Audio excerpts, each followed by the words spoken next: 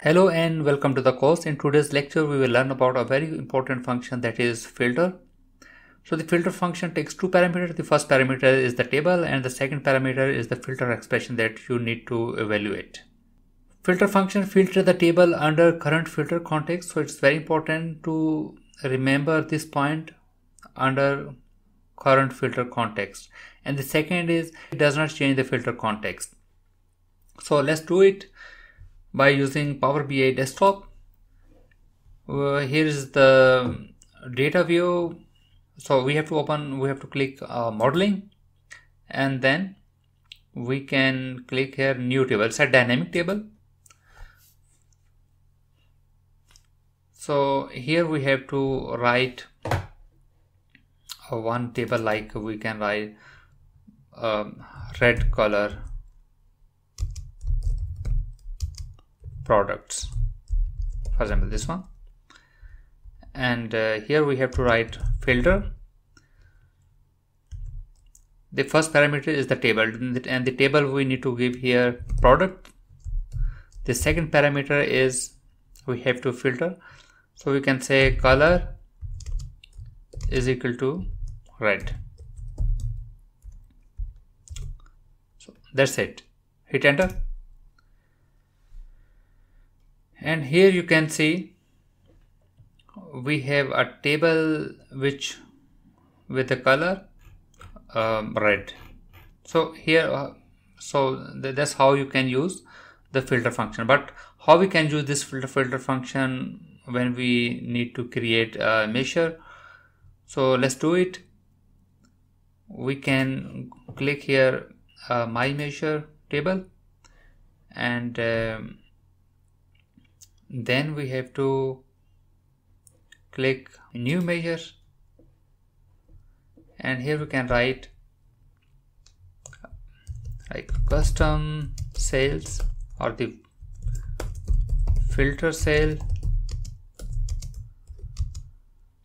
and uh, here we can write um, sum x and the first column is is the table and as I told you the filter is itself a table function. So here we have to write filter. And the the first column is again table. What is the table is? Table we can provide here for example sales.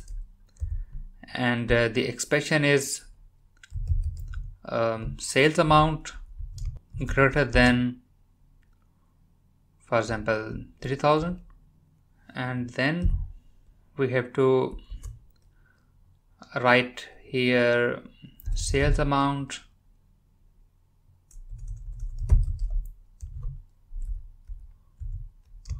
Multiply by uh, sales price.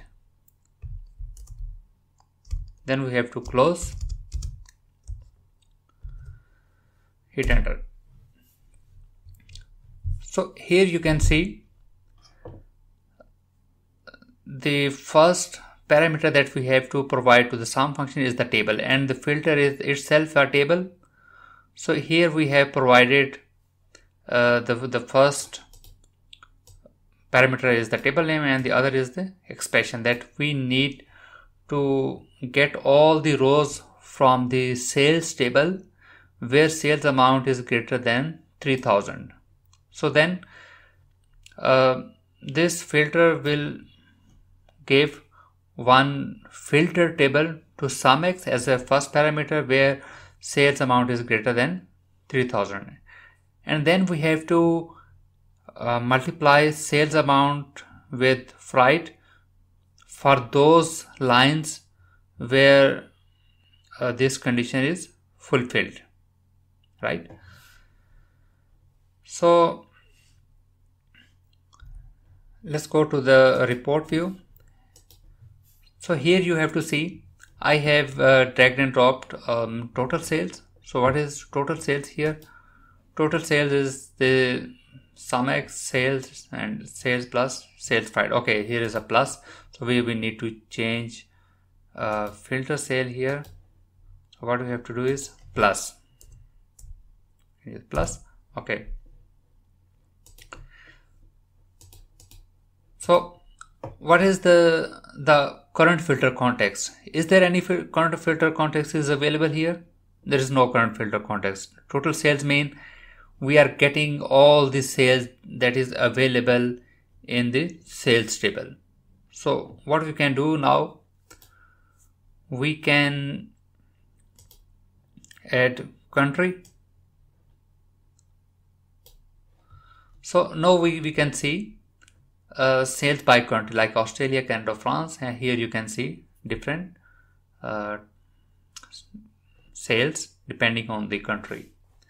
So this is the filter context. Country country is the filter context that is being applied on total sales. And we can add one slicer here like uh, customers and we can add uh, gender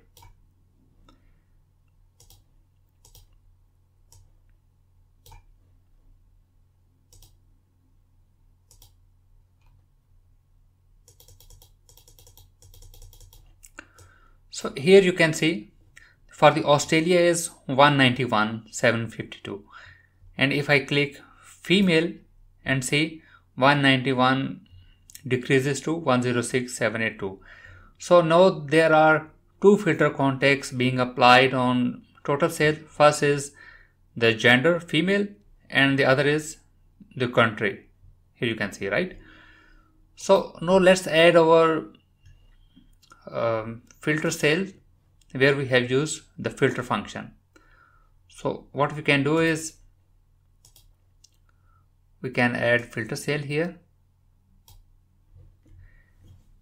and here you can see we have uh, here we have total sale 191 and here we have 58 and 57 and if I click uh, female and see it is being decreased to 21 823.62 and so on. So the filter function does not change the filter context. Filter function works under the current filter context. So what is the current filter context now for the for the filter sale for this filter cell, we have the current filter context. First is coming from the gender. The second coming from the um, Australia. So this these two are the current filter context and then we have added uh, one more um, then then we, we have used a filter function here